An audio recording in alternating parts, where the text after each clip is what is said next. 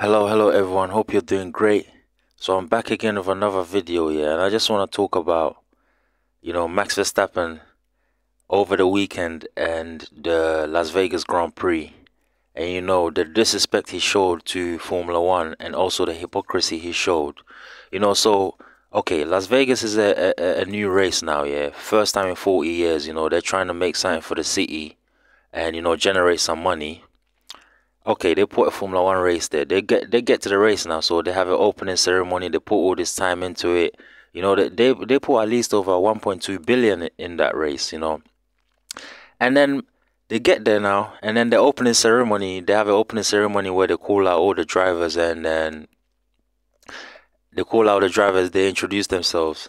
So after the opening ceremony, they asked Max, what did you think of the show? He said, oh, it's 99% show, 1% sporting event. And he's like, um, I'm not too excited about it, you know. Uh, yeah, I just look like a clown, not too interesting, you know. Like, come on, at least be a bit more positive, you know. You're just being a bit too negative, you know, to promote the show, for you to make more money, for them to pay you more money. The show has to grow, innit? The fans has to, you know, invest in the sport. So that's really really hypocritical you know the sport that's got you somewhere you want to you want to diss the sport and be uh, disrespectful and all of them things there and I really thought that was unfair on the organizers who put their time into it, the people that constructed the circuit, and you know he needs to apologize. You know, you need to apologize to all them people. And it sounded like he was a bit nervous because he's in Vegas, he's in America. I don't know if he's thinking, oh, something can happen to him, or you know them kind of things. There, I don't want to promote them kind of that kind of vibes. But what I'm saying is, you know, I see he was a bit nervous, you know, going to Vegas, blah blah blah, you know. So now,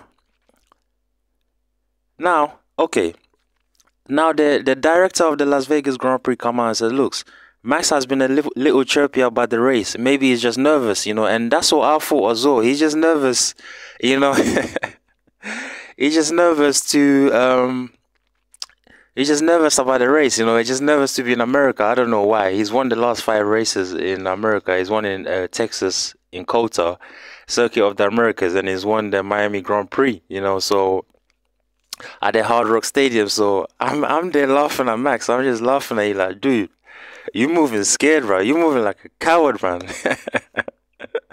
you know, but yeah, Max, you need to apologize to Formula One, yeah, and stop being a hypocrite, yeah. Because without Formula One, you ain't shit. You know what I'm saying? they stole a championship for you and they bigged you up in it. So don't try to act like you know you're the top of the charts and you never been seen. You know we've never seen uh, top drivers before.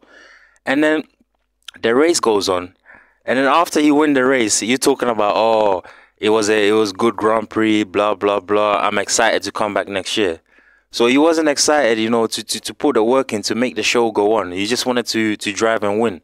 I understand that you're a driver, but come on, this hypocrisy is a bit too much, man. You know, and you know, real real people need to call you out, you know, and tell you about yourself. Cause it sounds like your team Red Bull, they don't tell you nothing. They just let you, you know, talk all kind of shit to them.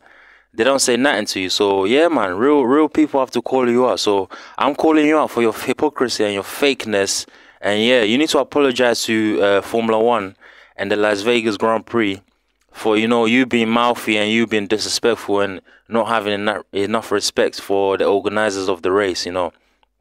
And yeah, I'm just gonna leave it here, you know.